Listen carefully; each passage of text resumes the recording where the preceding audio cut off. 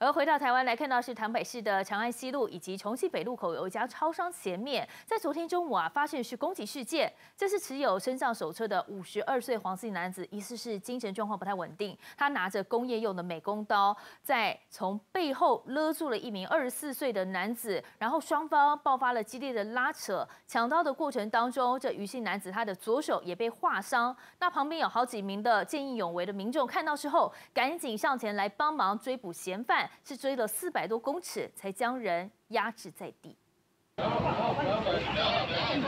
穿着白色上衣的男子被警方团团包围，压制在地。原来是因为他无缘无故拿着美工刀在路上闲晃，还动手勒住民众的脖子。几分钟前，这名男子攻击完人后，慌慌张张从骑楼落跑，后方好几名见义勇为的民众追了上去，跑了四百公尺，将他压制在地，场面相当惊险。有人在拉扯。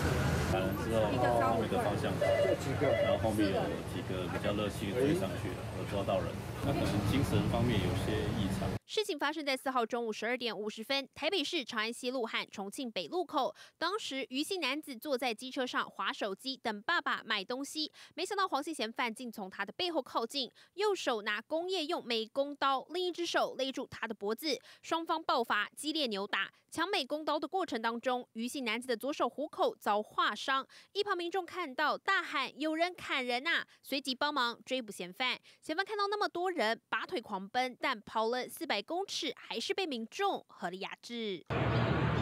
警方获报，赶紧到场将男子带回派出所。他自称会动手，是因为觉得对方要攻击他，所以他才会抢先攻击。警方讯后将他以杀人未遂及伤害罪嫌移送侦办。